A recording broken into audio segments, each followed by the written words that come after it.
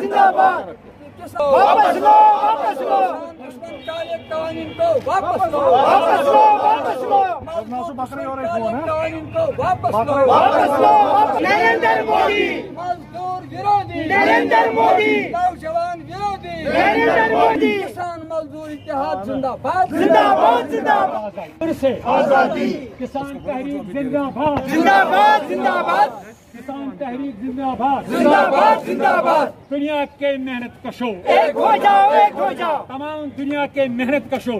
دیکھیں آج کا یہ جو پروٹیسٹ ہے جیسے میرے ساتھی قدرشی صاحب نے بھی بتا دیا آج سارے ملک میں کسان مزدور نوجوان اسفا ڈی وائی ایف آئی بے روزگار آشا آنگن واڑی سڑکوں پر نکلے ہیں۔ اس یہ جو R S S B J P led سرکار ہے جو بالکل انسینسیٹیو ہے، اندھی سرکار ہے۔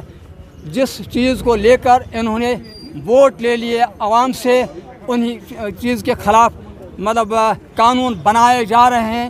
تین قانون کسانوں کے خلاف بنائے گئے، جس سے کسانوں کا زمین بھی چلا جاتا ہے، ان کا پیداوار بھی چلا جاتا ہے۔ سب کچھ چلا جاتا ہے اور یہ مطلب کارپوریٹوں کے حوالے کیا جا رہا ہے۔ سارا زراعت۔ ایک بات ہم اس کے خلاف ہیں اور آج آٹھ مہینے سے اس کے خلاف لڑائی چل رہی ہے سارے ملک میں۔ ہم چاہتے ہیں کہ سرکار ان فائٹنگ فارمرز کے ساتھ بات کرے اور ان کالے قوانین کو واپس لے۔ ایک بات دوسرا جو انہوں نے privatization electricity privatization bill pass کی پارلیمنٹ میں تمام بیچا۔ بس ایک تو نہ الیکٹرسٹی بیچ ڈالی۔ ہم چاہتے ہیں کہ اس کو واپس لیا جائے۔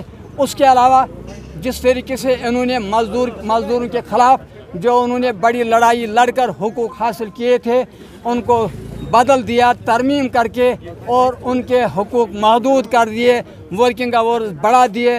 ہم چاہتے ہیں کہ ان اس ترامیم کو واپس لیا جائے۔ اسی چیز کو لے کر ہم آج یہاں بھی کھڑا ہیں، احتجاج کر رہے ہیں اور کشمیر میں مختلف ڈسٹرکٹ ہیڈ کوارٹرز پر اور سارے ملک میں، ہر سٹیٹ میں ہر ڈسٹرک ہیڈ کوارٹر پر اس وقت یہ احتجاج ہو رہا ہے اس سرکار کے خلاف، اس اندھی اور انسینٹیو سرکار کے خلاف۔